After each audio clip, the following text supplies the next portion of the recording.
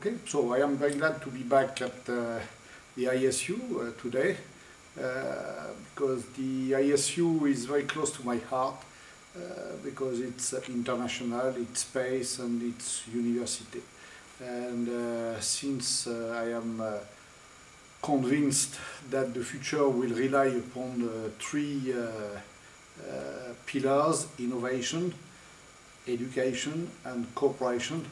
I think that uh, the ISU is uh, the right place to be and uh, I think that to have a group of students from all over the world representing a lot of different disciplines is the best way to generate innovation, to continue education